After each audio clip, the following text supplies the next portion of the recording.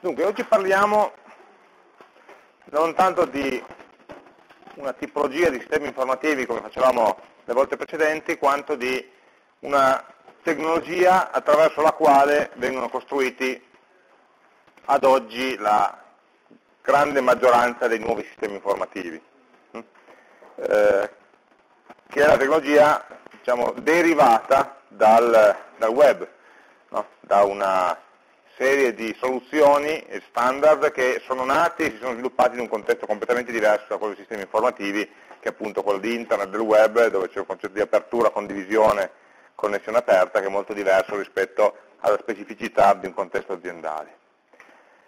Ehm, quando si parla di Web Information Systems, quindi si parla di sistemi informativi i quali usino no, eh, delle soluzioni tecnologiche basate sugli standard di Internet.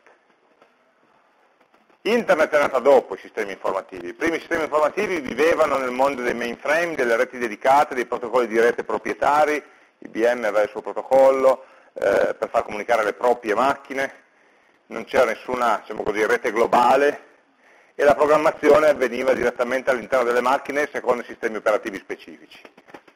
Nel frattempo è nata Internet, in seguito, tenete presente che stiamo parlando del, dei primi anni 90, in cui ci sono stati i, i primi browser web, eh, è stato inventato il, pro, il, protocollo HTTP, il linguaggio HTML, di cui oggi parliamo meglio, e quindi è, è cominciato a nascere il web come lo conosciamo. La rete internet in quanto rete eh, in realtà è precedente, nel senso che risale agli anni della guerra fredda in cui eh, il Dipartimento della Difesa degli Stati Uniti ha finanziato una serie di progetti, particolarmente eh, sulle università, per creare un'infrastruttura di comunicazione, l'obiettivo iniziale di, di, Internet è un'infrastruttura di comunicazione che fosse resistente agli attacchi nucleari. No?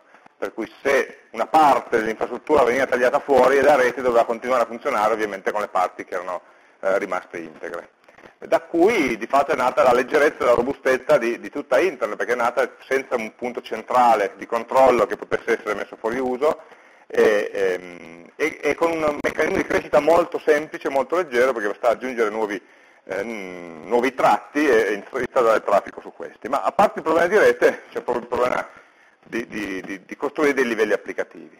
Ma tutto questo filone, in cui non ci, non ci addentriamo, ha creato tutta una serie di standard tecnologici protocolli di rete, eh, linguaggi di programmazione, linguaggi di descrizione, protocollo HTTP, protocolli applicativi, formati di immagine, tanto per dire, il problema dell'internazionalizzazione dei caratteri, quindi avere dei, dei, contenuti che possono scambiabili tra persone che usano alfabeti diversi e cose di questo genere.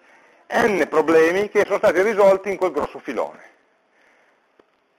Chi sviluppa un sistema informativo a un certo punto si è trovato di fronte all'opportunità di dire ma perché inventarci, reinventarci le cose da zero? Copiamo da là, anzi usiamo le soluzioni che ci sono già là nel mondo internet applicandole al mondo dei sistemi informativi. Quindi il sistema informativo web è un sistema informativo che usa, non è un sito internet, è un sistema che usa gli standard, i protocolli e i software che si sono sviluppati nel mondo internet per erogare i propri servizi, che possono essere accessibili su internet oppure no, questo è indipendente, no? è una questione tecnologica. Quali linguaggi uso, quali standard uso? Quelli del web sì, no. Quindi è caratterizzato da due elementi. Uno appunto eh, costruire una rete che funziona con le regole di internet e non con le regole dell'IBM o quelle della Microsoft o di chi che sia decida di, di inventarle, che è perfettamente legittimo. E due, che l'accesso al sistema informativo avviene attraverso un programma standardizzato che è un browser, lo stesso browser che usiamo per navigare i siti web. Semplicemente navigheremo delle pagine che sono generate dal nostro sistema informativo e magari sono accessibili solamente a noi, solamente al nostro reparto, solamente alla nostra azienda, non hanno, nulla, non hanno nulla a che vedere con internet.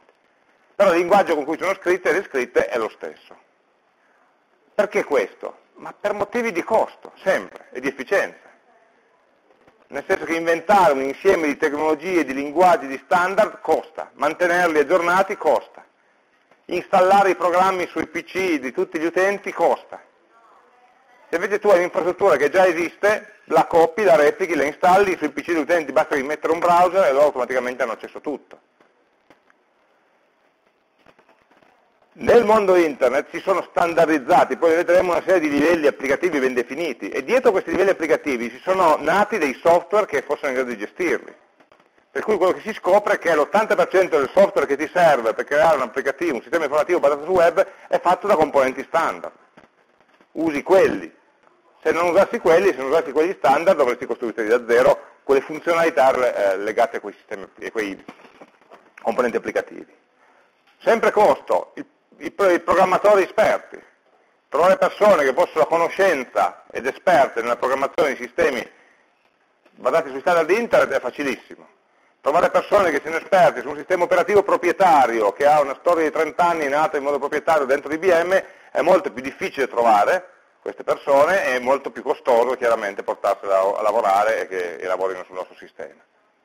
Quindi alla fine è una questione di in parte di efficienza ma soprattutto di costi. No? Si è visto che questa è una buona soluzione per tagliare fuori tutta una serie di costi. Io qua vi salto questa parte qua che parla dei tipi di modelli no?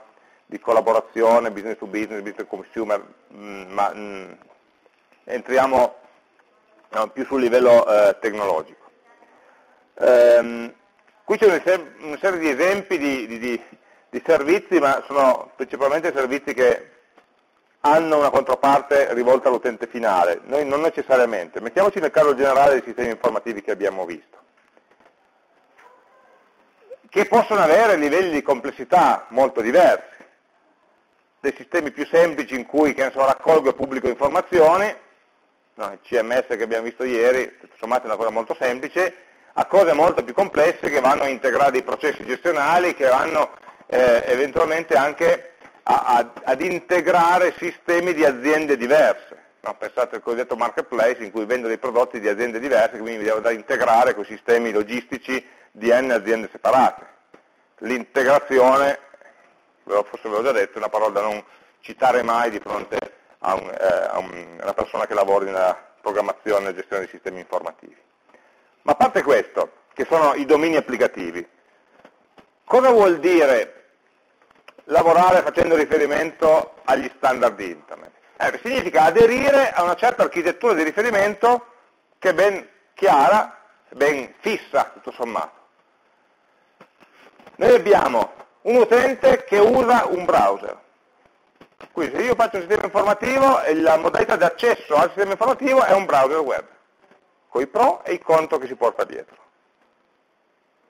Il pro sicuramente che è dappertutto, su qualunque macchina installato. I contro che dentro un browser non, non, posso fare tutto ciò che farei dentro un programma che ho installato sulla macchina, non ho accesso a tutto, non ho la velocità d'accesso che avrei, eccetera. Ho delle limitazioni, ma dall'altra parte dei vantaggi. Il browser si collega a un sito web che contiene ed eroga l'interfaccia utente del, del sistema informativo attraverso una rete internet di fatto che usa il protocollo TCP/IP. Può essere la internet pubblica, può essere una internet privata, in quel caso la chiamiamo intranet, può essere una parte di rete che è per alcune funzioni pubbliche e per altre private. Può essere una rete dedicata costruita eh, tra diverse aziende che non sono legate tra di loro da linee dedicate, in questo caso si chiama extranet, ma ciò che questo è un problema diciamo così, di infrastruttura. Ciò che interessa a livello applicativo è c'è un modo standard per cui il browser possa parlare col server. E il server è un server web. No? Dopodiché questo server web, e qui dietro ci sono 7-8 standard correlati. Si usano quelli. Il protocollo con cui comunicano è TCP/IP, punto. Lo stesso che usate a casa vostra, col wifi o con eh, il sito web genera pagina HTML, punto. Quella è possibilmente standard. Standard perché deve essere compatibile con tutti i browser a cui volete dare accesso al vostro sito, quindi se fate qualcosa di non standard, c'è stata un'ondata in cui la Microsoft ha cominciato a, a proporre delle estensioni non standard all'HTML che proponeva, che erano supportate solamente dai suoi browser. Per fortuna, dopo dieci anni, eh, si è preso tanti quelle bastonate in testa per, eh, per, cui alle ultime versioni di Internet Explorer aderiscono più eh, precisamente allo standard. Ma, e poi c'è un'architettura sottostante, cioè questo sito web è generato da chi?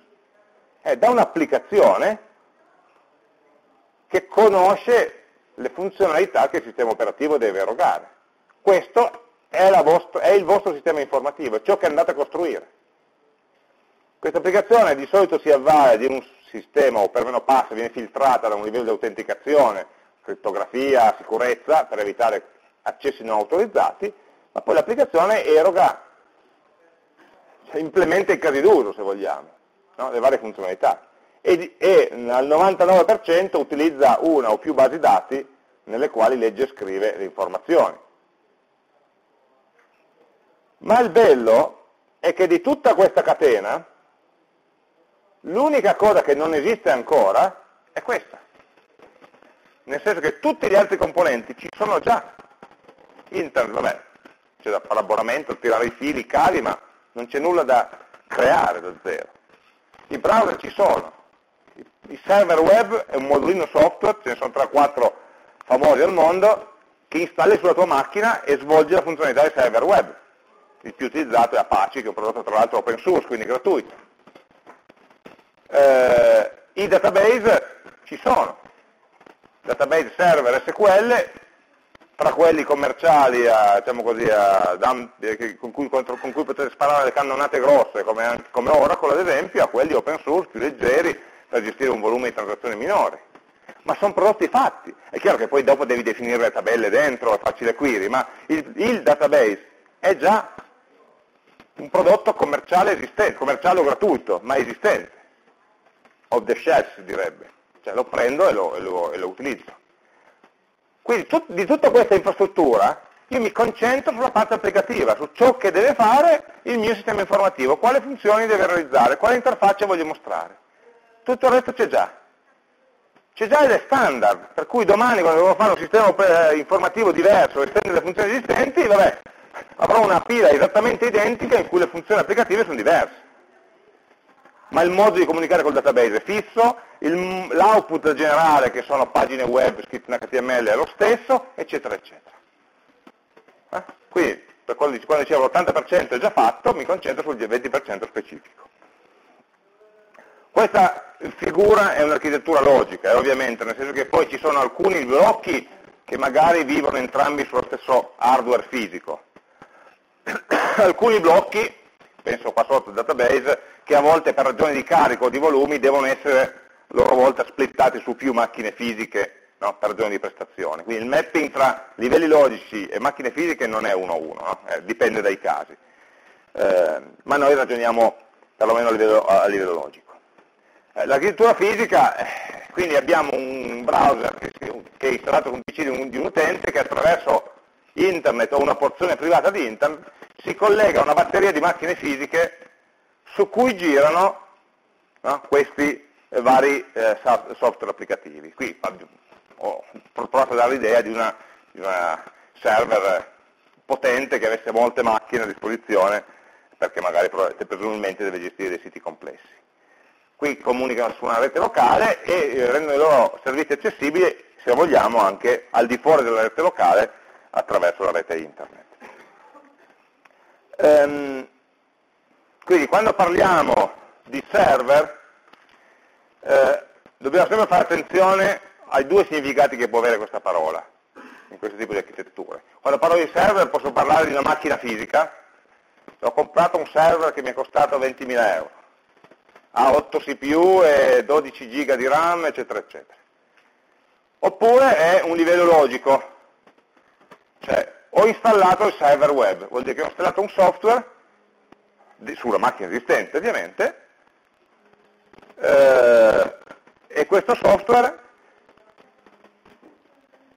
svolge le funzioni di server, ossia ci sono dei processi che girano e sono in grado di eseguire delle richieste.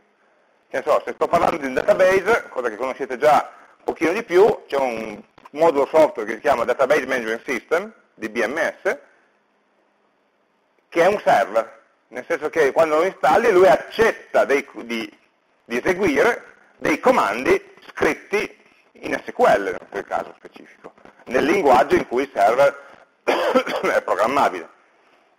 Un server web, vedremo, invece è un altro livello di software che, che accetta comandi eh, diciamo così, forniti nel linguaggio protocollo si chiama in quel caso, nel linguaggio HTTP. Mm? E quindi è un, livello, è un modulo software che risponde a certe richieste che arrivano dai livelli software sovrastanti.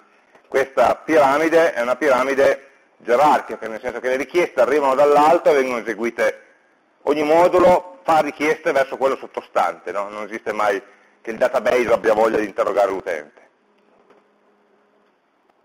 Ehm, quindi di questi vari livelli, diamo un flash sui principali, magari quelli che sul database e non conoscete molto. Do, do, per scontato che non le conosciate queste cose, se sono cose che avete già sentito dire ditemelo che mi concentro su altri, eh, altri argomenti perché ce n'è da dire. Allora, parliamo del colpevole principale, diciamo del, dell'elemento caratteristico di tutta l'architettura, il server web.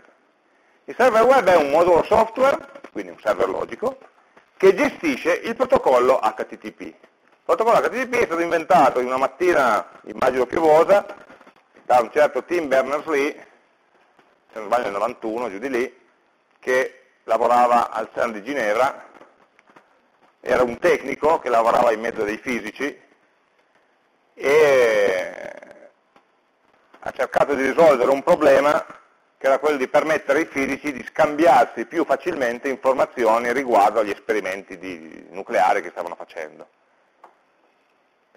All'epoca l'unico modo per scambiare informazioni tra ricercatori, non c'era neanche il fax, eh, l'unico metodo era quello di pubblicare articoli sulle riviste scientifiche. Ma pubblicare un articolo sulla rivista scientifica è un'operazione che richiede nove mesi, sei mesi, eh, perché tu devi scriverlo, mandare un editore su carta, lui lo manda ai revisori su carta, quindi devi mandargliene nelle coppie, e poi questi restituiscono, stiamo parlando no, di prima di internet, eh, loro restituiscono via posta su carta le loro revisioni scritte spesso a mano, e poi l'editore te lo comunica, insomma si è un lungo processo che fa sì che dall'esperimento che ho fatto oggi al fatto che il mio collega che fa l'esperimento analogo negli Stati Uniti possono passare dei mesi. Allora, perché non passare dei mesi? Abbiamo, e per quello poi nascono le conferenze scientifiche in cui i ricercatori prendono la bicicletta o l'aereo e vanno a una conferenza, si trovano e si parlano, così riescono a condividere informazioni con mesi di anticipo rispetto alla pubblicazione scientifica vera e propria.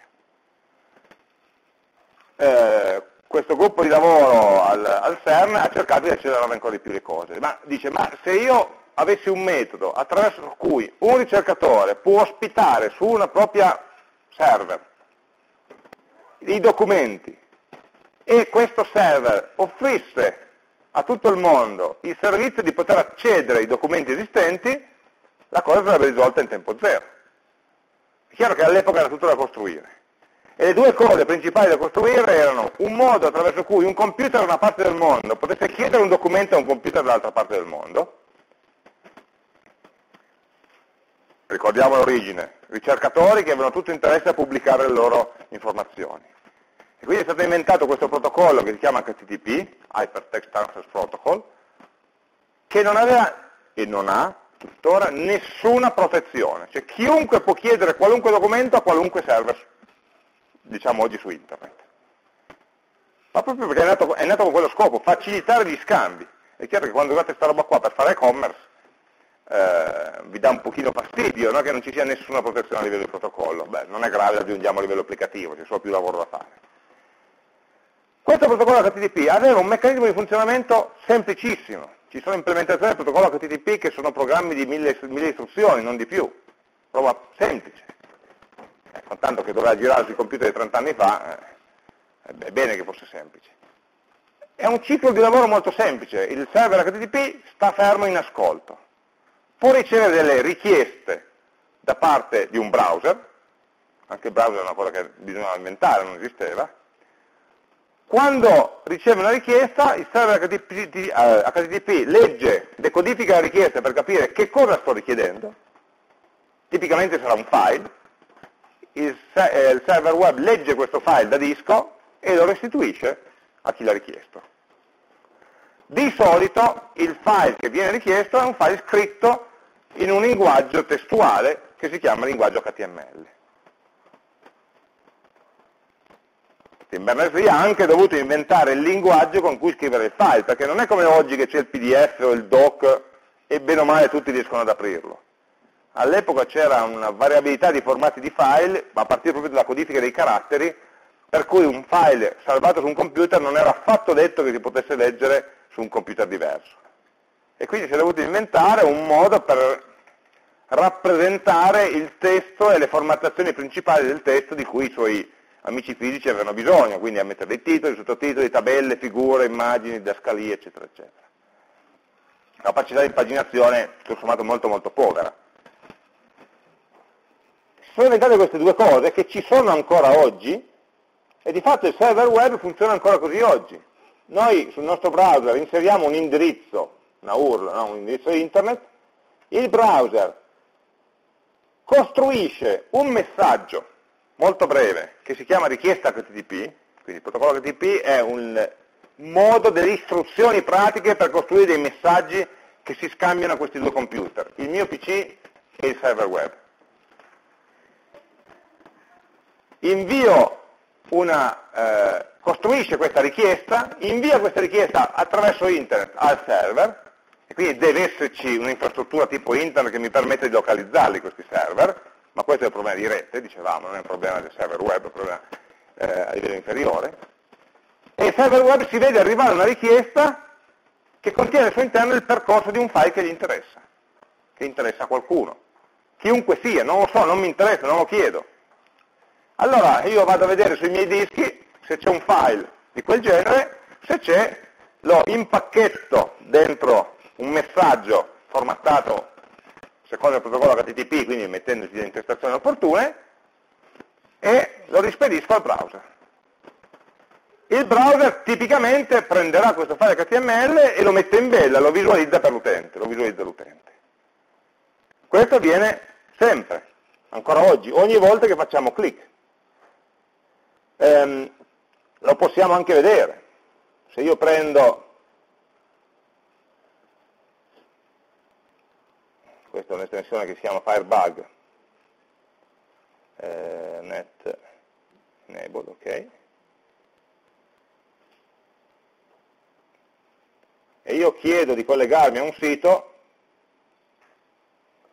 quello che vedo, quello che vedo qua sotto è un comando, questo elenco, poi lo commentiamo, sono le richieste, quando io, io ho fatto una zona di questa pagina, www.polito.it. Questo è l'elenco delle azioni che il mio browser, in questo caso Firefox, ha fatto. La prima cosa che ha fatto è mandare un comando che si chiama get a un indirizzo che si chiama www.polito.it. Get è il comando principale previsto dal protocollo HTTP. Il protocollo HTTP funziona così, il browser manda al server un comando che inizia di solito con una parola get oppure post oppure put, ci sono una serie di paroline che sono i comandi, in gergo si chiamano metodi HTTP, il nome del file che vuole prendere e poi la versione del protocollo che può essere la 1.0 o la 1.1. E questa richiesta viene qualificata da una serie di precisazioni, di attributi aggiuntivi. Ad esempio nel nostro caso, la,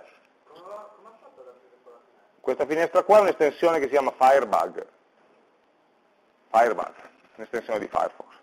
Se no c'è anche negli strumenti di developer tool, sia in Chrome che in Firefox già nativo in ultime versioni, ci sono strumenti del genere. Andate a cercare nei menu developer tools dei browser. O se no questa, questa estensione è abbastanza utilizzata. E mi fa vedere, dove sono qua? Diamo, diamoci più spazio.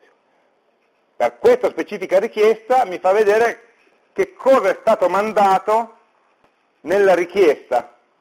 Quindi l'HTTP è un semplice ping pong a un passaggio. Ti mando una richiesta e mi mandi una risposta. La richiesta principale è questa, l'abbiamo detta sopra, get http www.polito.it e poi come informazioni aggiuntive il mio browser ha mandato al server questa pappardella di informazioni. Di fatto, ovviamente il significato di queste cose è scritto nella specifica del documento del protocollo HTTP, che sono poi 30 pagine, non è che sia una cosa mostruosa. Che è una cosa molto semplice. Un insieme di copie di nome e valore, ad esempio accept, io mando la richiesta www.polito.it, dammi l'home page, e dico, senti, tu puoi mandarmi indietro text barra HTML, quindi se questa risorsa ce l'hai in formato HTML mandamela, se non ce l'hai in formato HTML, ce l'hai in formato XHTML, XML, mandamela, se invece ce l'hai in formato XML, mandamela lo stesso, e questo con qualità 0,9, cioè preferenza 0,9, e altrimenti mandami quello che hai, qualunque altra cosa, con priorità inferiore. Cioè sto dicendo quali sono i formati che io sono in grado di leggere, io browser, sono in grado di leggere, decodificare, mostrare al mio utente, e le preferenze? Questo fa parte di un meccanismo che si usa molto poco in realtà, si chiama eh, content negotiation, in cui eh, il server se ha più versioni di un certo contenuto negozia col browser quale versione mandargli. E poi se vuoi mandamelo anche compresso. Se vuoi risparmiare banda, caro server, questo stesso contenuto lo, lo puoi mandare compresso con questo o quell'altro algoritmo di compressione. Eh, e poi il mio utente ha impostato, questo è il linguaggio con cui è stato impostato il browser, il sistema operativo del, del PC su cui gira questo browser e quindi chiedo al, al sito se ha più versioni la versione in inglese questo caso, perché è stato Firefox in versione inglese. Quindi questo è il motivo per cui quando voi navigate su un sito internazionale vi salta fuori quasi subito, quasi sempre, la versione italiana. Perché è il vostro browser che gli dice, guarda, questo mio utente parla italiano. Ehm, vabbè, poi ci sono altre cose, ecco l'ultima carina, lo user agent, e io, il mio browser si presenta te frega niente, ma io sono questo, io sono un browser di questo tipo, versione tal dei tale, che gira sul sistema operativo questo, versione tal dei tale, e così. Quindi il server sa qual è la versione del browser che richiede questa pagina. Di solito non, non deve interessargli, se non magari a fini statistici, voglio sapere quali, da quali piattaforme i miei utenti usano il mio, il mio sito. È anche importante però per uno sviluppatore perché ci sono alcune caratteristiche avanzate dell'HTML che alcuni browser implementano in modo migliore, altri in modo non, non perfetto e quindi bisogna fare attenzione alla compatibilità tra i vari browser e in alcuni casi prendere dei provvedimenti se il browser è di un certo tipo, è troppo vecchio non supporta certe cose.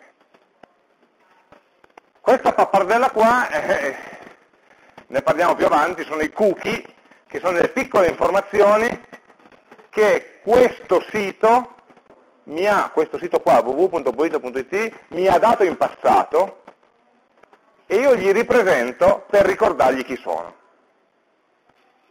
Mm? Eh, è un discorso più lungo, non lo facciamo adesso perché in realtà non è... Eh, in realtà noi l'abbiamo visto qua bello messo in bella questa cosa, ma se andate a vedere in realtà è semplicemente un pezzo di testo scritto così. Questi sono gli effettivi byte che il mio browser ha mandato al server, non è più complicato di così delle cose, una per riga, proprietà due punti, valore della proprietà, a capo. E questa è la richiesta. Questo pacchetto ha fatto il giro del mondo sei volte, poi è arrivato in Corso Duca degli Abruzzi, Beh, in questo caso non ha fatto il giro del mondo, potrebbe averlo fatto, non mi interessa, è un problema del TCP/IP, il browser non lo sa, il server non lo sa. Il server riceve questa richiesta, dammi slash, la pagina principale del tuo sito, e il server ha detto va bene e ha risposto. Ha risposto con una risposta in formato eh, HTTP ovviamente, e il formato HTTP per una risposta prevede due componenti, un'intestazione e un corpo. L'intestazione è nello stesso formato della richiesta, che ovviamente le, le parole chiave, gli attributi sono diversi, dice guarda io ti do questo contenuto, tu mi hai detto che lo potevi prendere compattato con gzip, e allora io te lo do compattato con gzip, saranno 6875 byte, quindi finché non li ricevuti tutti per favore non rompere scatole, te l'ho mandato in formato text HTML, sto dando le risposte alle dichiarazioni di disponibilità che mi hai dato tu prima.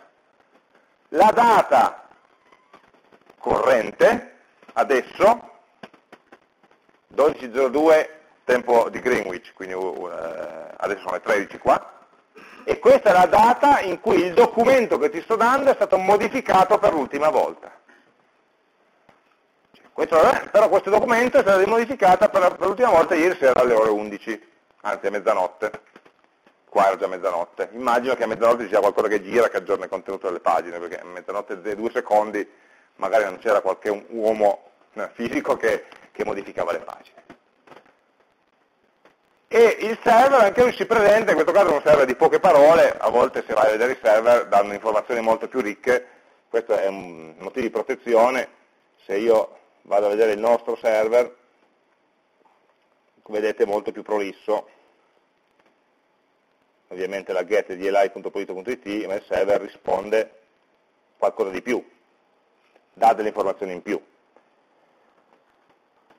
E questo è ogni server che decide no, quali informazioni fornire. E queste sono le intestazioni, cioè la risposta è questa. A cosa mi serve la data? Beh, quasi a niente, so, boh, forse sapere la... ma niente. Fa parte del protocollo, è la data della risposta, il timbro postale della risposta. L'ASModify invece mi serve parecchio, perché io so che quella pagina, quel contenuto è recente pure di ieri o dell'altro ieri. È uno dei meccanismi di base per cui ogni quando navighiamo nelle pagine il browser può mantenersi nella cosiddetta cache una copia dei file che ha scaricato e se questi file nel frattempo non sono cambiati evita di riscaricarli ogni volta hm, quando andate su una pagina. Dicevo, queste eh, le sono le intestazioni e poi c'è la risposta vera e propria. Una risposta HTTP è fatta di due parti, intestazioni e corpo, separati da una riga vuota. Non è, non... Tutto vedere molto molto semplice, righe di testo. Roba che potevamo fare al primo anno, no? con l'informatica che abbiamo studiato al primo anno. E il corpo di solito è scritto in linguaggio HTML. Può essere qualunque cosa, il protocollo HTTP non lo specifica, dice solo qualunque corpo tu mi dia, per favore, anzi, devi dichiarare in che formato è. In modo che il browser, quando si vede arrivare quei byte lì, sappia che cosa farsene. Normalmente è formato HTML. Questo testo qua eh, contiene la descrizione del contenuto della pagina che vediamo. Questo è ciò che arriva al browser e con queste istruzioni, adesso stiamo un pochino più in dettaglio, il browser è in grado di disegnare la pagina, quello che vedete. Al suo interno l'HTML contiene, può contenere del testo, ma può contenere soprattutto dei comandi. Ad esempio UL è il comando per fare una lista non puntata, unordered list significa. Eh, form è il comando per fare dei moduli, questa casellina qua sopra, in alto. E così via. Adesso, quindi l'HTML è un linguaggio basato su comandi testuali, che sono tutti racchiusi tra segni di maggiore o minore, per tag di questo genere, tag angolari a volte si chiama, che danno istruzioni del tipo questo è un titolo, questo è un testo, questa è una casellina di testo, questa è un'immagine, eccetera, eccetera. E sulla base di queste informazioni il browser disegna la pagina, mette i colori alle cose, le, le, le posiziona, mette le scritte, eccetera, eccetera. Quindi è un linguaggio di descrizione della pagina, che al suo interno però questa pagina può contenere anche so, delle immagini. E le immagini ovviamente sono documenti esterni, ne sto cercando una,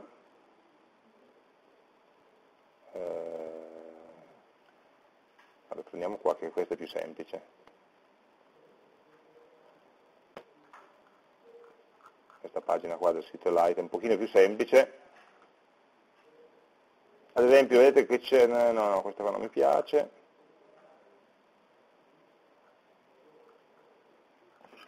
Eccolo qua, image. IMG è il tag, il comando del linguaggio HTML che indica a questo punto, in questo punto della pagina voglio un'immagine.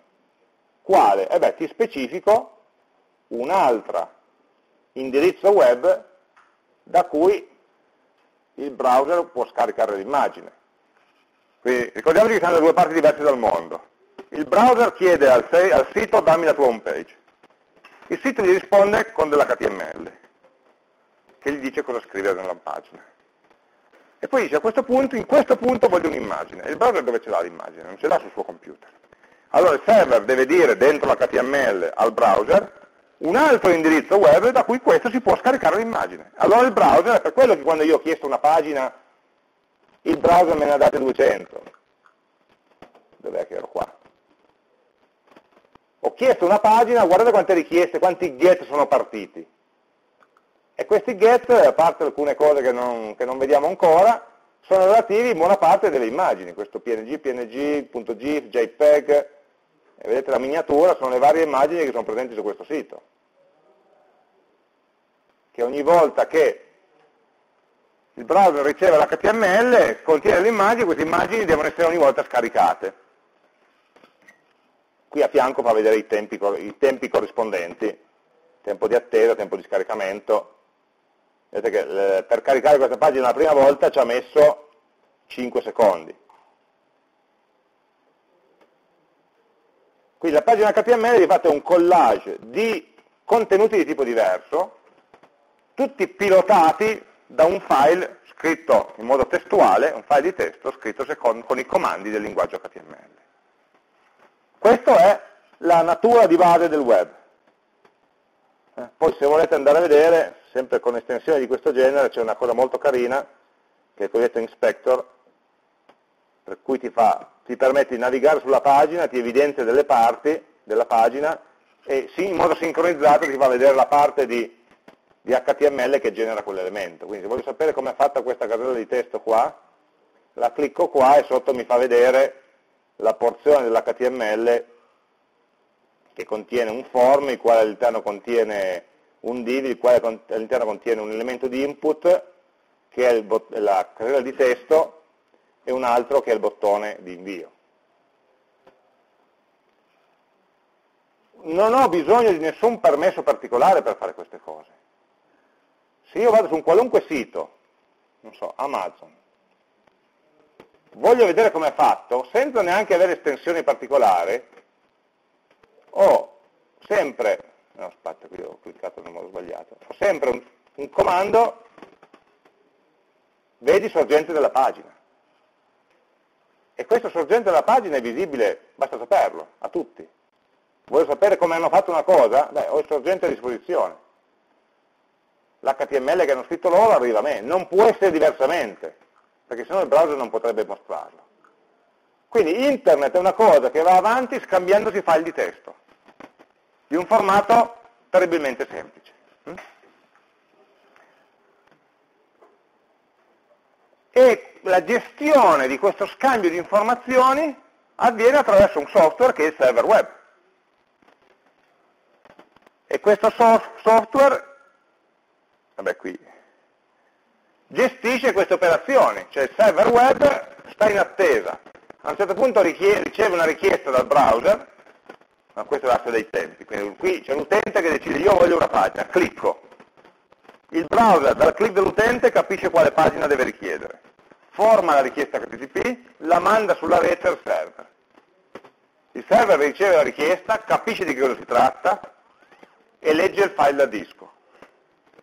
Prende il file, gli mette davanti l'intestazione HTTP, lo comprime eventualmente se è il caso, e lo manda al browser il browser lo riceve e lo visualizza, questo è il caso in cui non, non contenga delle immagini. Se contiene delle immagini questo ciclo riprende subito dopo, scatera altre richieste HTTP fino a quando tutte non sono soddisfatte, fino a quando il browser non ha tutti gli elementi che compongono la pagina a disposizione. Allora si può fermare e ridare controllo all'utente. Dopodiché l'utente legge, fa, decide, fino a quando l'utente non farà un altro clic il server si dimentica completamente di lui. Questo si dice tecnicamente che l'HTTP è un protocollo stateless, senza stato. Cioè il server web, il componente server web, non si ricorda che cosa ha fatto un attimo dopo averlo fatto. Ma al punto che di queste 200 richieste, o quante erano, che sono arrivate tutte nell'arco di pochi secondi, dal mio stesso computer allo stesso server web, ecco, la, da questa a questa il server non ha nessuna nozione del fatto che fanno parte della stessa pagina o che siano richieste dallo stesso utente. per il server web sono richieste indipendenti. Potrebbero arrivare tutte da persone diverse sparse in luoghi diversi del mondo. Sì, poi c'è un sospetto perché l'indirizzo IP del chiamante è lo stesso, ma non cambia, non importa, lui non, non, non le tratta in modo diverso, non lo sa. Il lavoro di un server web è dare i documenti che la gente gli richiede, fine. Che questi documenti siano richiesti perché all'interno dell'HTML il browser web abbia deciso che c'era un'immagine e quindi ha bisogno di chiedere quell'immagine, è un problema del, del browser, non del server. Il server è molto stupido, molto stupido quindi può essere molto efficiente, molto veloce. Servire decine di migliaia di richieste al secondo. Ricordate che una pagina causa così tante richieste, pensate oh, tanti utenti che vanno sullo stesso sito, quante, di quante richieste viene bombardato il server web ogni secondo, se ha un minimo eh, diciamo così, popolare, frequentato. Quindi il lavoro del server web è rispondere velocemente a questo tipo di richieste, veloce, e senza pensare a chi lo chiede e a che cosa sta chiedendo. Questo è il primo livello. Guardate che sul protocollo HTTP vengono costruite praticamente tutte le applicazioni di oggi. Allora, se proviamo a riassumere attraverso una, uno schemino che poi andiamo via via ad arricchire, noi abbiamo il nostro utente che usando un'interfaccia utente, schermo, tastiera o cosa, usando un browser, e qui ho messo tante icone perché di browser ce ne sono tanti, alcuni funzionano meglio, alcuni peggio, alcuni sono più veloci, alcuni sono più aderenti agli standard, per cui devo sempre capire che cosa ha in mano il mio utente. L'utente manda un comando attraverso il browser, cioè cliccando o scrivendo qualcosa, dice al browser voglio quella pagina. Il browser manda la richiesta al server web. Il server risponde, manda indietro un file. Questo file viene preso in carico dal browser in particolare da un componente del browser che è il motore di layout, cioè il motore che legge l'HTML e impagina, decide l'impaginazione. Quindi deve essere in grado di leggere l'HTML e di decodificare le immagini, no, questo motore di layout man mano che decodifica l'HTML chiede al browser di fare altre richieste, che saranno i, tutti i media collegati, tutte le immagini tipicamente collegate, i fonti in alcuni casi, i fogli di stile, lo vedremo, e eh, gli arrivano dal server, possono arrivare di tanto in ordine sparso, con dei ritardi variabili, il motore di layout è una persona molto paziente che alla fine quando ha tutto lo mette insieme e lo mostra all'utente sullo schermo. Questi due sono separati. Sul server web che cosa c'è? Beh, ci sono due cose, ci sono i file HTML e ci sono i file contenenti le immagini principalmente, poi andiamo ad aggiungere delle cose, come vedete c'è tanto spazio bianco. A questo punto, vabbè, le immagini qualcuno deve fare. I file HTML, chi li scrive?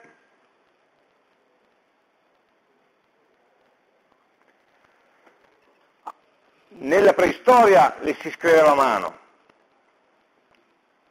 però quando la complessità diventa forte, soprattutto quando c'è bisogno di un certo tipo di aggiornamento, dei contenuti non è pensabile scriverli a mano. Cioè, pensate a questo sito in cui sulla sinistra c'è un menu e in qualunque pagina voi andiate c'è sempre questo menu qua. E io domani decido di aggiungere o cancellare una categoria di questo menu qua. Cioè, non è pensabile che io mi metta a mano a modificare tutte le pagine del sito per aggiungere o togliere una voce di menu. Perché poi di sicuro ne dimentico qualcuna e non lo faccio in modo corretto, coerente, eccetera. Allora questa pagina, tutte queste pagine sono generate dinamicamente da un software. Queste pagine HTML non le scrivo a mano, scrivo un programma che secondo certe regole genera a sua volta le pagine HTML. In modo che se devo aggiungere o togliere una voce del menu, basterà dire a questo programma, modificare questo programma e lui da quel momento in avanti tutte le pagine che genererà saranno generate con il nuovo tipo di menu. Mm? Quindi le pagine HTML che noi navighiamo sono tutte pagine che lato server sono generate in modo dinamico, cioè da un software opportuno. È qui che ci sta l'applicazione web. Cioè, sono pagine, ci fanno un pochino pena. Un millisecondo prima non esistevano, poi arriva la nostra richiesta, viene, nel momento in cui facciamo la richiesta viene attivato un programma, un software, un'applicazione, che ha come unico scopo nella vita quello di generare l'HTML per me, questo genera un file in uscita, questo file viene mandato al mio browser il quale me lo memorizza. Subito dopo che il server web mi ha risposto, questo file viene dimenticato, cancellato, perso per sempre. È molto effimero. Lato server, l'HTML è effimero. Il tutto è nato dicendo il server web serve dei file HTML, scritti a mano dai fisici di 30 anni fa. 20 anni fa, scusate. Ma con il crescere di, di, di, internet si è passati da siti internet statici ad applicazioni internet dinamiche, i cui contenuti sono sempre comunque generati da un applicativo software.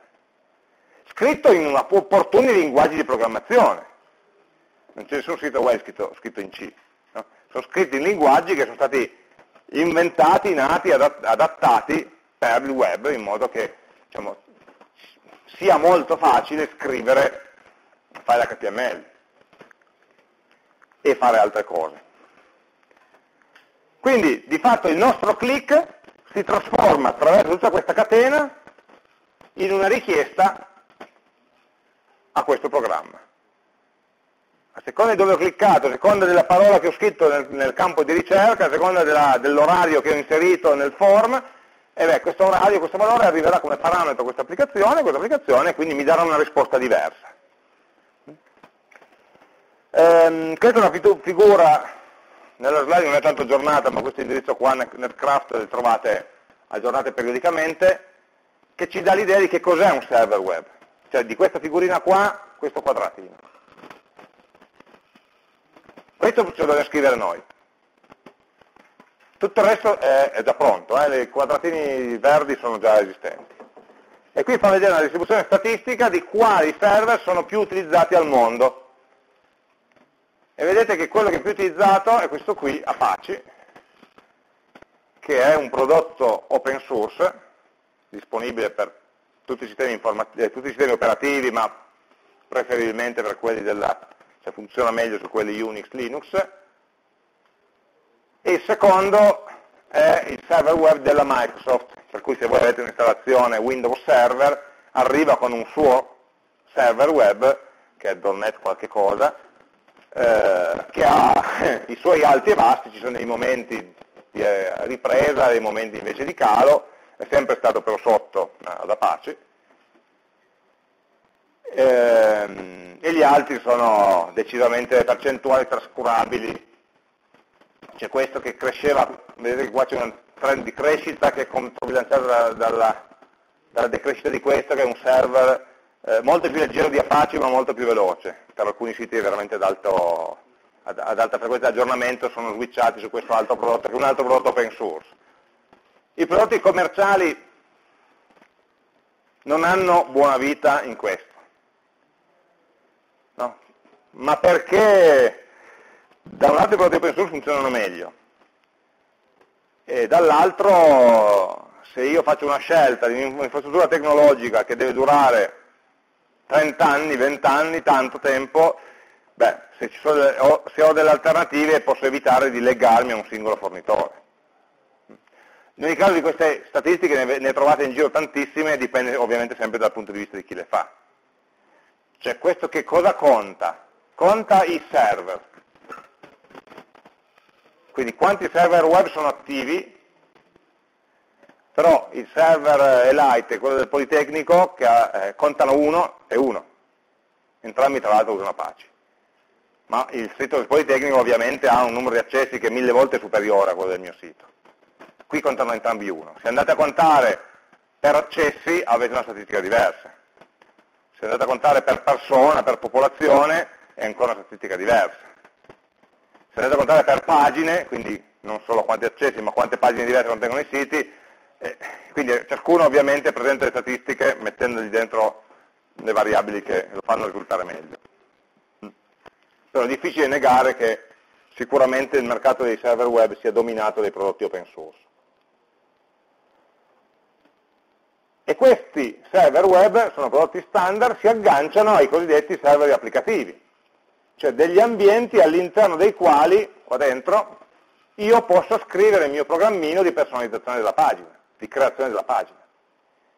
Come dicevo, sono eh, scritti in linguaggi di programmazione opportuni e contengono la logica del sito, non la logica aziendale, la logica con cui creo questa pagina così se l'utente mi ha fatto questa richiesta. E in qualche modo è pinzato dal lato alto verso l'HTML, l'utente, verso il basso sui dati, cioè deve mediare, deve rendere accessibili i dati del sistema informativo, del database principalmente, attraverso no, le pagine HTML. Eh, quindi in realtà ciò che succede è un pochino più complicato, prima dicevamo server web prende un file HTML e me lo restituisce. Questo file HTML non esiste, abbiamo detto. Se non esiste viene generato al momento. Quindi il server web quando riceve una richiesta innanzitutto guarda e dice ma questa richiesta è relativa a un file statico o a un file dinamico? File statico, che so, l'immagine, c'è, ce l'ho salvata sul disco. Oppure un file dinamico. Beh, se è un file dinamico io, server web, non so rispondere. Io server web sono capace a smistare file e basta. Ma allora io server web mi integro con delle applicazioni, con un altro livello di server, un application server, che a volte è un processo separato, a volte è un modulo interno allo stesso server, dipende dai casi, che sarà in grado di, la, la, tratto non come una richiesta di un documento, ma come una richiesta di un servizio.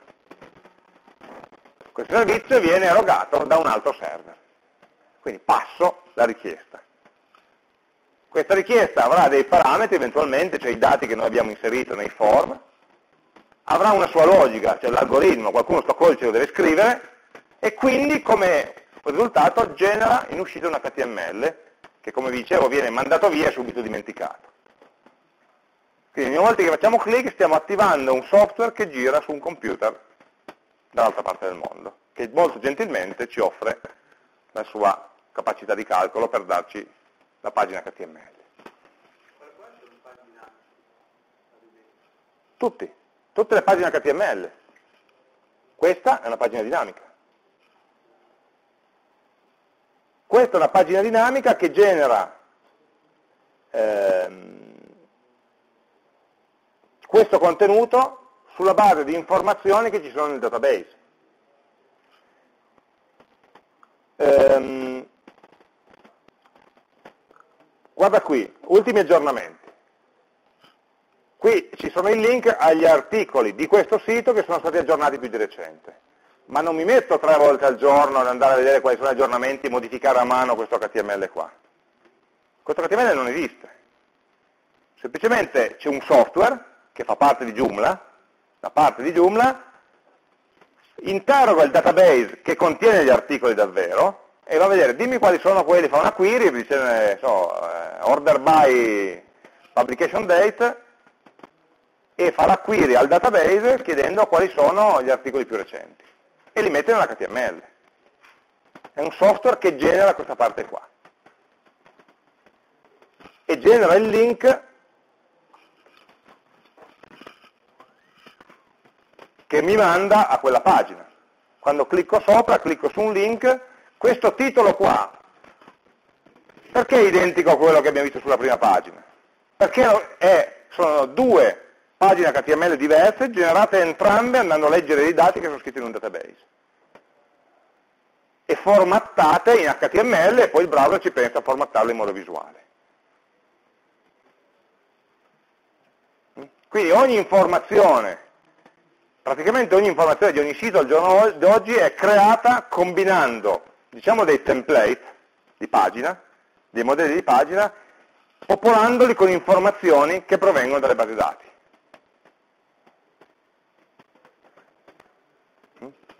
Quando è che una pagina può cambiare? Eh, può cambiare quando questa applicazione decide di generare un HTML diverso. Se io carico 30 volte questa pagina, ottengo 30 volte lo stesso HTML o ottengo 30 volte HTML diversi?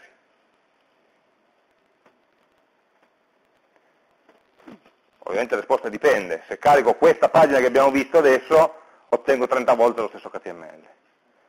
Perché nel frattempo non è cambiato nulla nel database sottostante a cui questa applicazione eh, si interfaccia. Quali sono le, i motivi per cui questo HTML generato da questo software può essere diverso? Sono tre. Una non si ricorda mai. Cosa può cambiare questo software? A questo software posso cambiare tre cose. Il tempo, per cui una cosa, se da qualche parte sul sito scrivessi in un angolo l'ora esatta, se tu lo ricarichi, un attimo dopo quell'ora esatta è cambiata. Vabbè, non ci interessa. Ma le altre due cose possono, possono cambiare. I dati che vengono usati da questo software per mostrare la pagina, tu aggiorni la pagina di Twitter, aggiorni la pagina di Facebook, è sempre la stessa pagina, sempre lo stesso indirizzo, ma i contenuti sono cambiati. Perché? Perché dentro il database del server il contenuto è cambiato e la logica che ti genera la pagina ti genera un contenuto diverso. Oppure l'utente. Se io apro la pagina di Gmail e tu apri la pagina di Gmail, è la stessa pagina, la stessa URL, lo stesso server, lo stesso indirizzo. Ma spererai ben che io veda le mie mail e tu veda le tue, e non tutte le stesse. Quindi la logica applicativa deve fare questi due lavori. Fornire dei dati che siano allineati con l'ultima versione dei dati memorizzati nel sistema informativo e fornire dei dati, che poi alla fine è sempre l'HTML, che sia personalizzato in funzione dell'utente che l'ha richiesto. Queste due cose il server web non le vede minimamente, non le capisce proprio, sono fuori dal suo livello di comprensione. Ci vuole un programma che sia costruito su misura per fare queste cose. Riconoscere l'utente, sapere quali dati, con quali basi dati interfacciarsi e così via.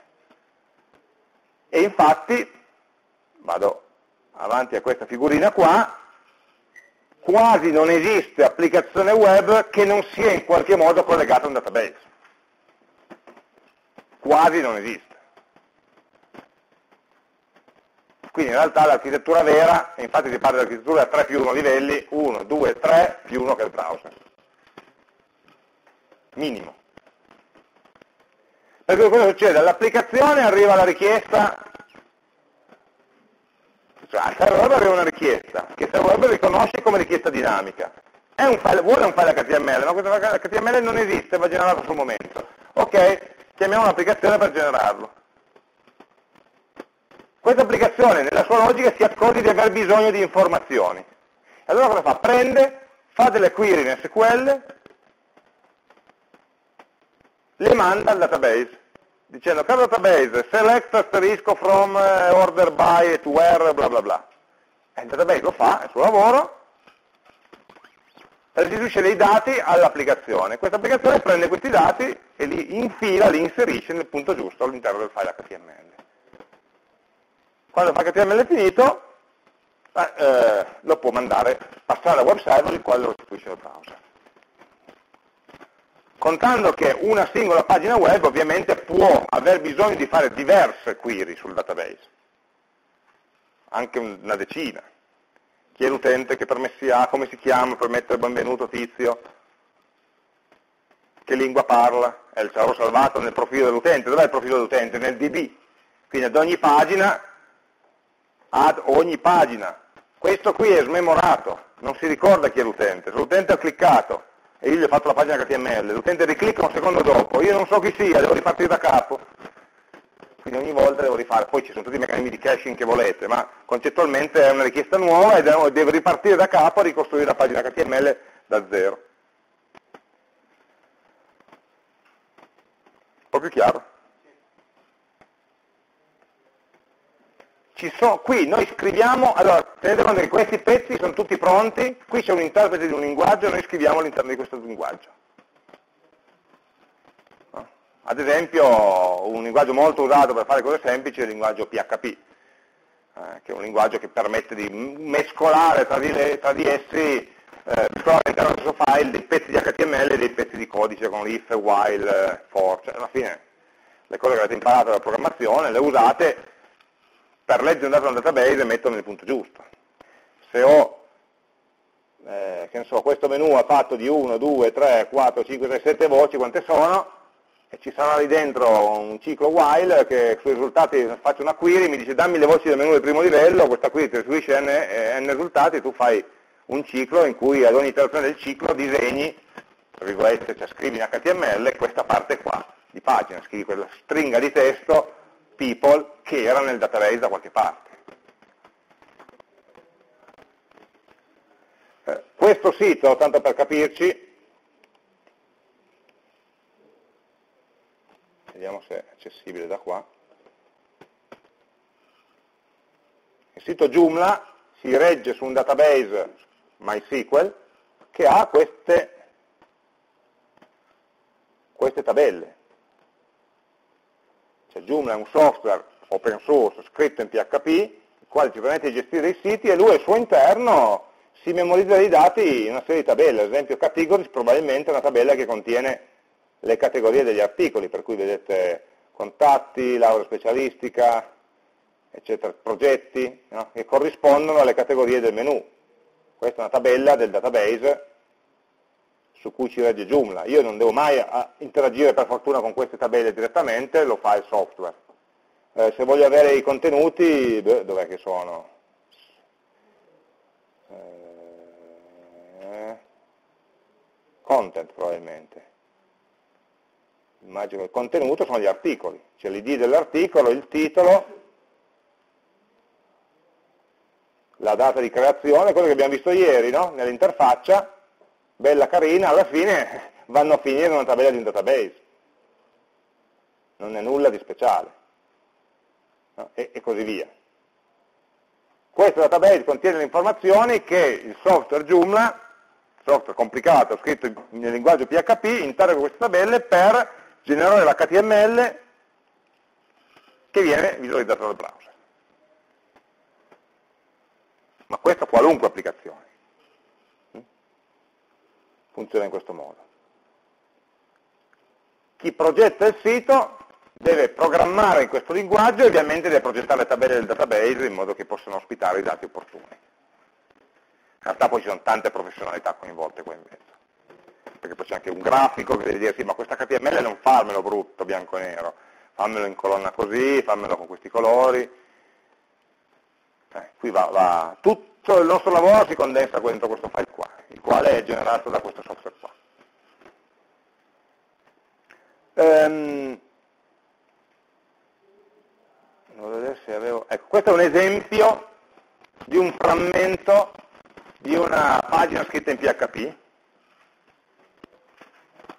Questo linguaggio dice, fa vedere, eh, ad esempio, voglio vedere, di fatto una richiesta, no? un semplicissimo motore di ricerca, che vuole sapere quali sono i documenti che contengono una certa parola chiave. Allora, in qualche modo la parola chiave è stata specificata all'utente, questo dollar request query indica che nel, nella interfaccia web della pagina precedente c'è una casella di testo che si chiamava query, e quindi dollar request query vuol dire la richiesta dell'utente, quindi l'utente avrà cliccato su un bottone ricerca, un bottone invio, questo, questa azione ha fatto sì che il browser impacchettasse nella richiesta HTTP, nel get, una stringa query che ha il nome della casella di testo, uguale Pippo, che è ciò che c'è scritto l'utente. E quindi a livello di applicazione io posso estrarre dalla richiesta, dall'oggetto richiesta, il parametro che si chiama query. Quindi questo verrà sostituito con Pippo. Allora io qua metto dentro una stringa il messaggio, virgolette, select eh, id del documento dalla, dal join tra le tabelle parole chiave e indice dei documenti dove la parola chiave è uguale a Pippo e chiaramente questa è la condizione di join tra le due tabelle. No? Quindi una tabella di documenti, una tabella della parola chiave, una chiave è una tabella di chiave esterna che, le, che collega le due. Quindi voglio vedere gli ID dei documenti che contengono almeno una volta quella parola chiave. È una query, non un esercizio di base dati che avete dimenticato bene. Ehm, solo che questa query è parametrica e il valore di questo parametro arriva dall'utente che sta dall'altra parte del mondo e l'ha inserito in un form web. E attraverso il browser è arrivato al server web e attraverso il server web è arrivato all'application server PHP che l'ha passato al mio script.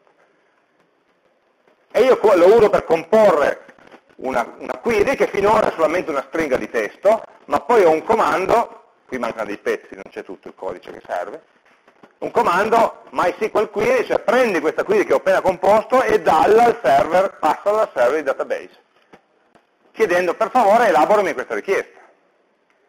Il server di database fa il suo lavoro e restituisce una tabella dei risultati, in un insieme di righe.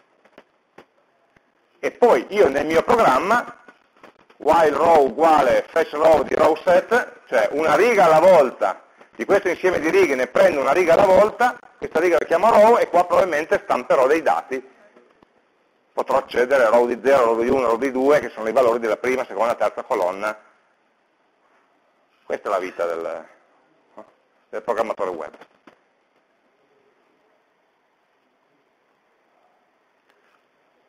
Qui ci sono solamente i dati, tutto questo ovviamente va inserito dentro dei tag HTML, perché i dati non li metto tutti di fila, li metto a capo, li metto in una tabella, quindi devo usare i tag dell'HTML per fare la tabella, table per fare la tabella, tr per fare le righe della tabella, td per fare le celle della tabella, e vabbè, si tratta di impararsi questo linguaggio.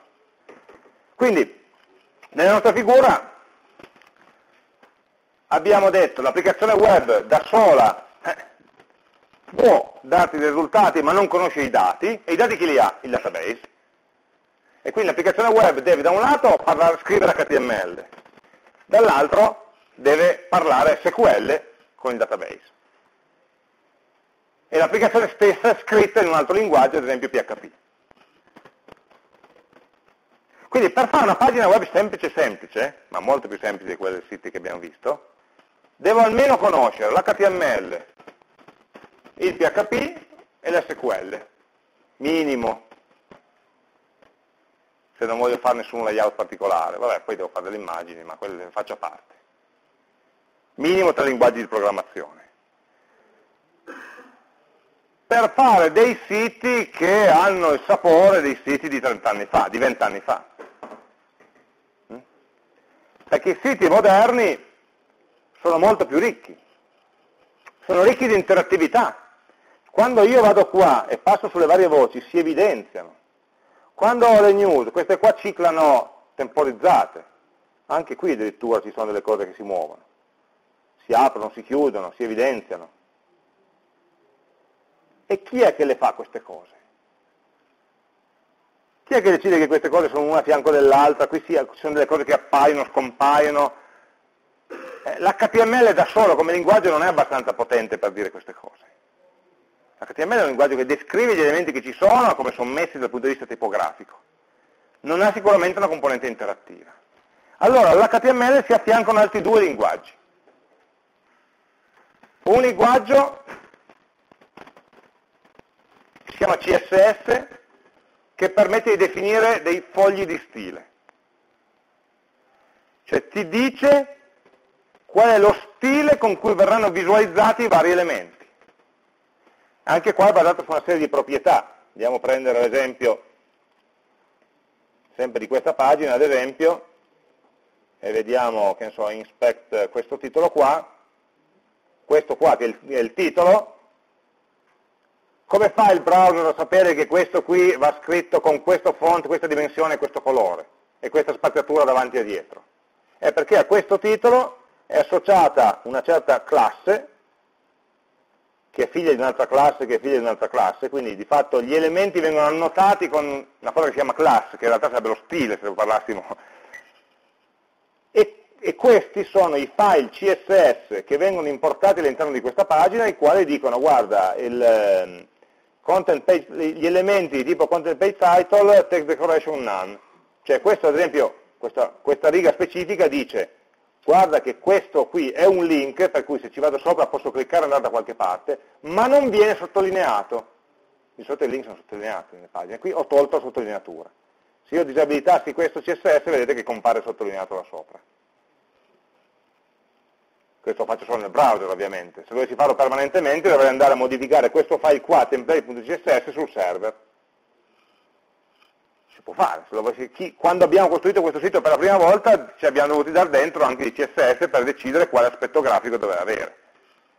Eh, poi ci sono, che so, la dimensione è un pochino più grande perché il font size è 150%. Eh, questi qua sbarrati sono specifiche che sono state in realtà sovrascritte da altre, perché questo Il CSS sta, significa Cascading Style Sheet. Style Sheet è facile, fogli di stile. Sono dei fogli che contengono gli stili da applicare agli elementi dell'HTML. Quindi l'HTML è il contenuto, il CSS è il vestito che gli do questo contenuto. Cascading perché lo stesso attributo può essere ridefinito più volte, in modo da io imposto un colore generale e poi invece per questa sezione ridefinisco alcune proprietà che si applicano incrementalmente rispetto a quelle precedenti. Quindi di fatto vedete quante proprietà ci sono, sono state cancellate e quelle che rimangono sono solamente queste. Questa è una visione che mi dà ehm, Firebug ovviamente. Quello che io vedo quando creo un foglio di stile è una cosa di questo genere. Vedo questo file e scrivo le proprietà. Le liste non numerate sono fatte in questo modo, le liste ordinate sono fatte in quest'altro modo. TH sono le, le, celle di una tabella che contengono dei titoli, table heading, allora le voglio fare in grassetto con 5 punti di spaziatura, allineamento sinistra. Vabbè, nulla di mostruoso. È un linguaggio che mi permette di definire degli stili e appiccicare degli stili a delle categorie di elementi dell'HTML. La cosa bella è che io definisco poi gli stili in modo anche neutrale rispetto alla pagina HTML stessa. Per cui su 100 pagine alle quali applico gli stessi stili CSS avranno un aspetto grafico simile, ovviamente se usano le class, cioè gli stili con lo stesso nome. Mm? Quindi riesco di botto, dovessi, volessi decidere di cambiare il colore di tutti i titoli da blu a rosso, tocco in un punto unico e il browser questo è un lavoro che fa unicamente il browser. Eh? Il server non lo sa, il server nel file HTML c'è una linea all'inizio che richiama i fogli di stile, c'è un comando che si chiama link che permette di linkarci dentro un foglio di stile, allora il browser chiede il foglio di stile, fa il CSS al server web, questo tipicamente invece è scritto a mano, è statico, girato dinamicamente, anche se ultimamente comincia a esserlo, perché diventa complicato, questo restituisce il file CSS, il quale viene tenuto in conto dal motore di layout. E quindi è il browser che visualizza la pagina tenendo conto dei fogli di stile. Voi potete prendere un qualunque sito e disabilitare i fogli di stile. Forse. Una volta c'era un menu per farlo. Eh... Vabbè, non lo trovo al volo. La, la, la, no, Potreste vedere questa pagina senza fogli di stile, se, credo che si possa disabilitare da qua. Mm. Vabbè, non voglio perdere tempo adesso. E il contenuto che vedete sarebbe lo, sarebbe lo stesso, ma eh, il layout non sarebbe affatto lo stesso i colori verrebbero a mancare, le dimensioni dei font sarebbero tutte uguali, sarebbe bianco e nero essenzialmente, tranne qualche immagine. E questa è metà del lavoro, dare l'aspetto grafico. E poi c'è la parte di animazione, di interazione. E come faccio a fare? Beh, questo non lo posso codificare in un linguaggio così semplice. Il fatto che quando il mouse va qui debba comparire un certo rettangolo, allora il fatto che un rettangolo possa comparire o scomparire lo posso fare col CSS perché ha un attributo hidden oppure visible, anzi display visible, display, eh, display none o display block. E quindi un, un rettangolo può essere pronto ma non visualizzato, però deve esserci qualcuno che dentro il browser modifica quell'attributo da display none a display block. Chi è che sa quando devo cambiare quell'attributo? Eh, nessuno lo sa. Il browser non può saperlo, non è che c'è una regola generale il server ormai è morto, si è già dimenticato di noi tempo fa. Quindi qualcosa dentro la pagina HTML, collegato alla pagina HTML, deve avere un minimo di logica, di conoscenza, che dice quando l'utente fa questo, che so, modifica quell'attributo CSS per far comparire o scomparire quell'effetto. Questo addirittura è più complicato perché lo fa comparire con un'animazione, e quindi non, lo fa comparire, non, so, non, solo lo fa comparire, ma ne modifica l'altezza gradualmente, quindi modifica l'altezza, che so, 10%, 20, 30, 40%, in modo che noi vediamo l'animazione. Ci vuole un programmino per farlo. Un programmino che però gira dentro il browser. Quindi quando noi scarichiamo una pagina internet, oltre a portarci dietro l'HTML, generato attraverso questa trafila, oltre a portarci dietro le immagini, oltre a portarci dietro i fogli di stile, tipicamente ci portiamo in casa anche dei programmini scritti in un linguaggio specifico che si chiama JavaScript. Il nome ufficiale sarebbe ECMAScript, ma tutti lo chiamano JavaScript. Questo linguaggio è un linguaggio che non viene eseguito sul server, sul server è un file come tutti gli altri, passivo, statico, immobile. Viene servito come file statico e il browser, come vedete in questa figura, si è arricchito di un altro modulino che è chiamato motore JavaScript. Questo motore JavaScript interpreta le istruzioni di questo linguaggio. Tutti i browser moderni al loro interno sono capaci di interpretare il JavaScript. E il JavaScript è un modello di programmazione ad eventi in cui dico quando succede questo evento, tipo on mouse over, cioè quando il mouse passa sopra, di un certo elemento della pagina HTML, quindi di quel testo lì, allora esegue una certa procedura e questa procedura modi può modificare delle proprietà della pagina stessa. Eh, quando voi lo scaricate, questo file viene letto e interpretato da questo motore JavaScript. Questo motore JavaScript è in stretto contatto col motore del layout, perché il software che scrive questo codice JavaScript deve modificare, capire cosa c'è sulla pagina, capire cosa sta facendo l'utente nella pagina e modificare il contenuto della pagina stessa. E quindi in realtà il motore di layout può essere fatto come vuole, ma c'è bisogno di un'interfaccia ben standardizzata affinché il JavaScript che scrivete voi sia in grado di manipolare gli elementi della pagina che il motore di layout ha già letto estraendoli dal file HTML.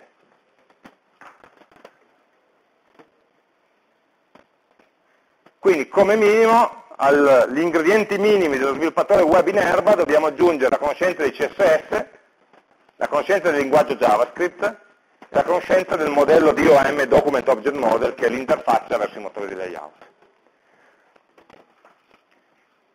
La cosa sconvolgente è che tutto questo deve funzionare anche se cambiate browser. Se voi immaginate che l'interprete JavaScript il motore di layout di un browser, che so, Firefox, non hanno nulla a che vedere in termini di codice scritto, di chi l'ha scritto come l'ha scritto, con quel di Chrome o come quelli di Internet Explorer. Addirittura sono scritti in linguaggi diversi.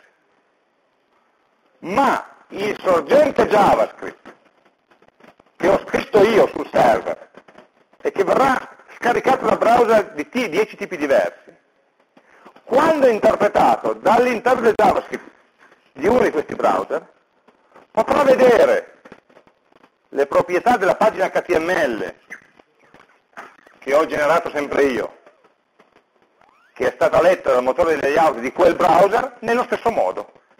Cioè il codice JavaScript non si accorge, non dovrebbe accorgere, non dovrebbe dipendere dal contesto in cui viene eseguito.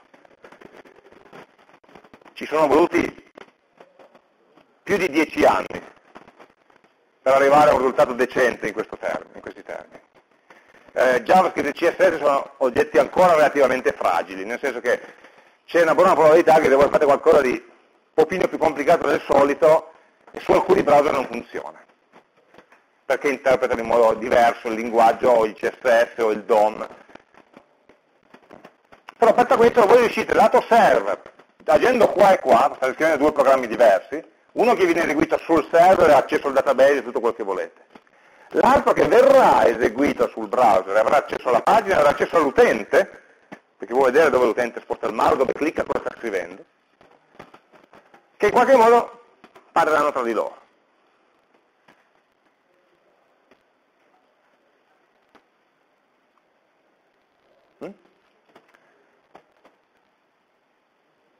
Manca l'ultimo pezzo, perché il difetto di questa, o la limitazione di questa architettura è che questo Java, ah, una nota, dal punto di vista della sicurezza, voi sappiate che ogni volta che navigate su un sito, il vostro browser sta, sta eseguendo sul vostro computer un programma che qualcun altro che voi non conoscete ha scritto.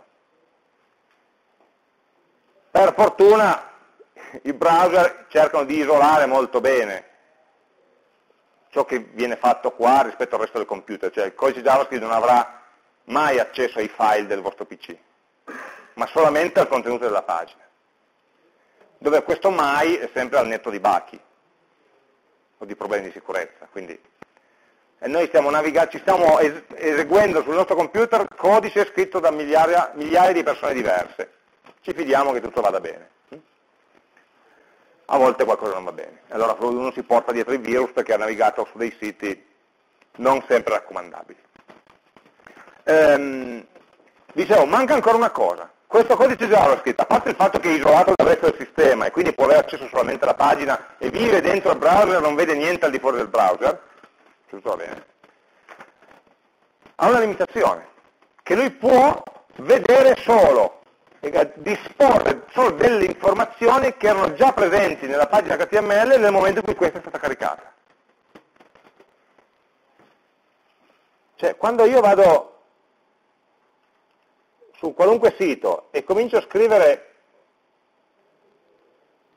dentro una casella di testo, beh, abbiamo capito che è il JavaScript che apre una finestra sul DOM, aggiunge un blocco e ci mette del contenuto dentro. Ma come fa quel JavaScript a sapere le parole da scrivere lì dentro? Da dove le prende? Mica se le inventa? E potrà mica portarsi dietro ogni volta che carica una pagina dentro JavaScript deve esserci eh, 200 megabyte, no? che contengono le, le, le, le query più frequenti su Amazon? Allora, ci sono moltissime funzionalità a cui siamo abituati che richiedono che il codice JavaScript, una volta che è in esecuzione sulla nostra macchina, possa in qualche modo ancora comunicare col server. Qui no, non può. Può solo fare delle cose, quindi far comparire e scomparire i box, benissimo, non mi serve un'informazione aggiuntiva ma far comparire informazione che prima non c'era. Da dove la prendo questa informazione? E beh, devo poter parlare col server un secondo momento. E quindi è stata data recentemente, è quella che ha fatto nascere il cosiddetto Web 2.0 dal punto di vista tecnologico, non da quello sociologico che è un altro discorso, la capacità al codice JavaScript una volta che è stato caricato, una volta che la pagina è stata visualizzata, di poter contattare ancora il server e di fatto richiedere, non, a questo punto non più delle pagine HTML, ma dei dati. Cioè in questo caso, quando io ho scritto caff per dire caffettiera, eh, il codice JavaScript sulla pagina, sul, che già sul mio browser, è andato a chiedere al server di Amazon, senti ma l'utente ha scritto caff, dammi un po' di completamenti utili così li mostro. Ha mandato una richiesta HTTP che è stata intercettata da una certa pagina applicativa che ha fatto la query nel database.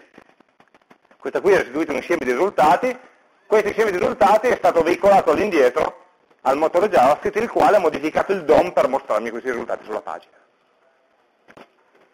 Tutto, dall'autocompletamento a Gmail, a qualunque a Facebook, a tutte le applicazioni che usate, si basano sul fatto che dopo che ho caricato la pagina la pagina stessa può mantenere un dialogo col server, in modo asincrono. No, cioè, la cosa va avanti senza cambiare la pagina, ma in background la pagina parla col server, si scambiano informazioni senza che voi lo sappiate. Se andassimo a vedere con Firebug che cosa succede, eh, ricarichiamo la pagina, e vedete che se io scrivo qualche cosa magari di diverso, non caffè ma tè,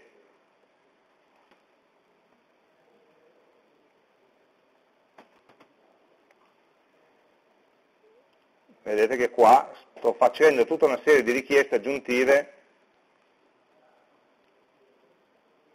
eh, man mano che scrivo il, il, browser sta parlando col server ne so, un video DVD eh, compaiono nuove richieste. Cioè man mano che io faccio cose sulla pagina, il JavaScript lo sa, le intercetta, intercetta quelle che gli interessano e se gli serve parla col server per avere delle informazioni in più.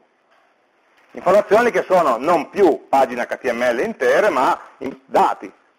Dati codificati in qualche formato, i due formati più frequenti utilizzati sono inizialmente il formato XML, codifica dei dati, poi si, si è accorti che XML era un po' troppo pesante da impacchettare, trasportare e spacchettare, perché è molto verboso, per cui si è inventato un formato di rappresentazione dei dati molto più snello, JSON, si chiama JavaScript Object Notation, che ha il vantaggio che può essere interpretato in modo nativo dall'interprete JavaScript, perché ha già una sintassi interna al JavaScript.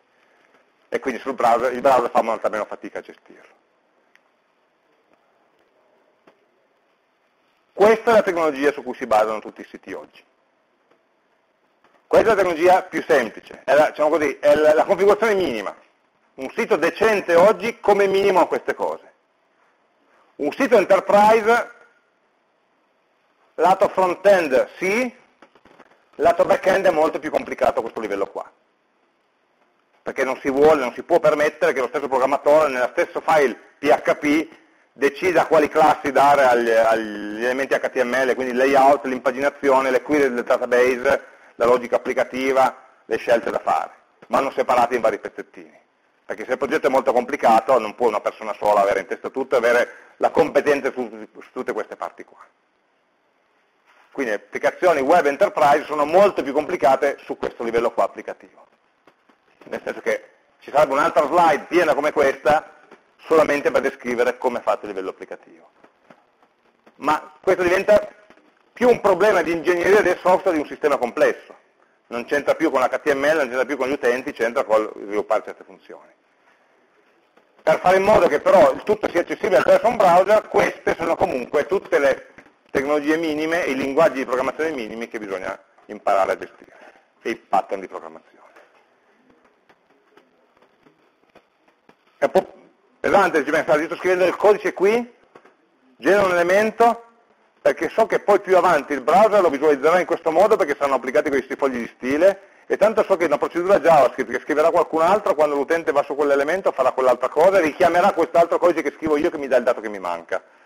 Questo è il tipo di ragionamento che si fa quando si sviluppano queste applicazioni qua. Si pensa in modo asincrono e distribuito. È un, stato un corso un po' eh, veloce, se volete degli approfondimenti me lo dite, cerchiamo di ricavare del tempo più avanti.